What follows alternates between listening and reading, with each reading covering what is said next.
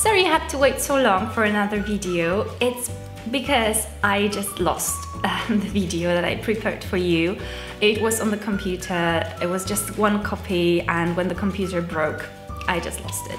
So it's a good reminder for future to just save um, somewhere else, whatever you're making, essay or just writing your thesis or making a video, doesn't matter what it is, make another copy because you're gonna be really sorry like I was.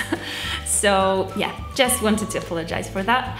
And then, yes, so today I wanted to talk about tools, like basic tools to start making jewelry. Keep watching and I hope you will enjoy this video. So, do you need a lot of different tools to start making jewelry, like silver, copper, etc.? I would say yes and no. Obviously, you do need some basic tools to start creating, but you don't need like fully equipped studio from day one. That would be a dream. But if you're like me and you don't want to invest all of your money from the beginning, you just want to try out, see how that goes, or just have fun and not trying every single technique that there is, then I would tell you which tools I got from the beginning and they were absolutely enough for me to start. I started needing some other tools along the way, but I think that's what this is all about, right? You just try something and then you see what you need to get next. So yeah, I just wanted to share with you what I got.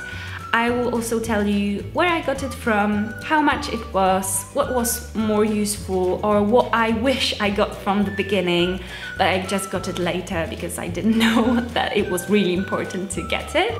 Keep watching and I hope you will enjoy it.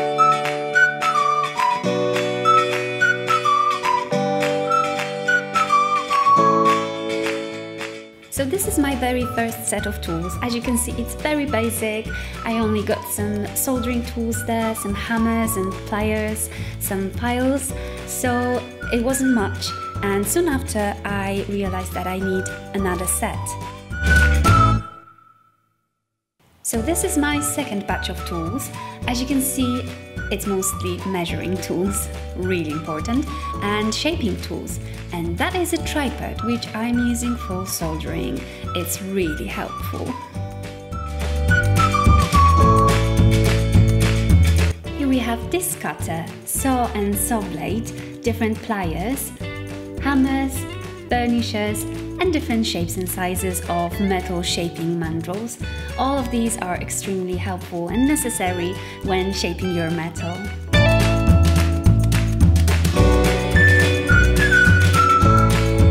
So these are my soldering bits.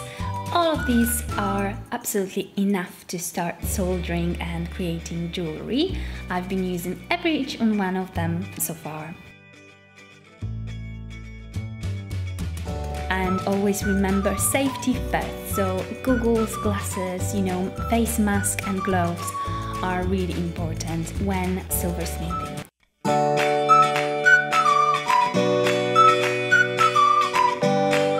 For polishing, I've been using these emery papers and emery sticks. They come in different grades from coarse to fine I also have some polishing gloves, but the most important tool that I have, which really was a game changer for me, is this rotary tool.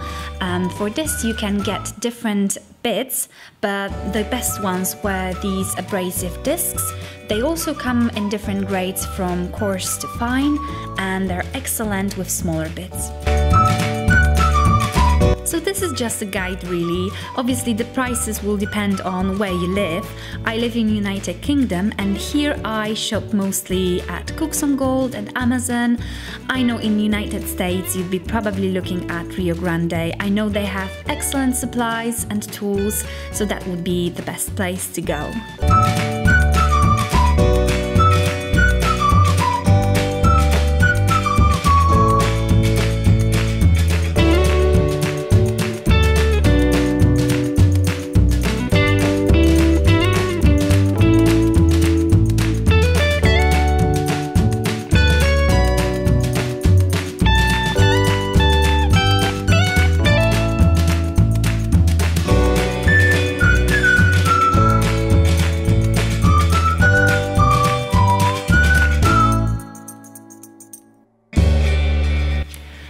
Guys, this is all for today. I hope you enjoyed watching it. I hope you learned something new.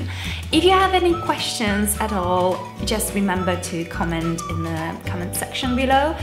Just ask anything. I'll try to answer. And also if you have any re requests of what you would like to see next, then also by all means let me know. Yeah, I really hope you enjoyed it. Take care, have a lovely week and see you next time. Bye!